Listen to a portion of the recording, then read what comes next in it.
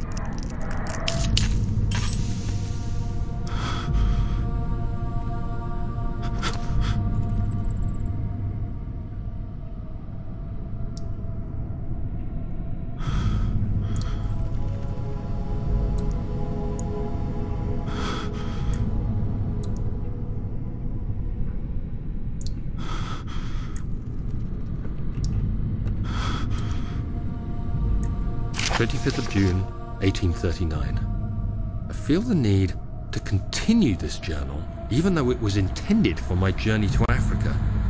This must be something very important. I just know it. I've taken it upon myself to piece the orb back together, but it's been more difficult than one might think. The pieces are behaving strangely. They seem to change colour, shape, and texture, but ever so slightly. Yesterday, I took careful measurements and notated any significant markings. Today, I confirmed my suspicions. They were changing. I was terrified and rushed off to see the finest geologist in London, Sir William Smith. I approached the subject with care and we discussed how rocks change form. He told me about the nature of glass how it eventually collapses on itself, like ice slowly melting over the course of centuries. Smith eased my mind a bit, but I can't escape the feeling that these shards have otherworldly properties.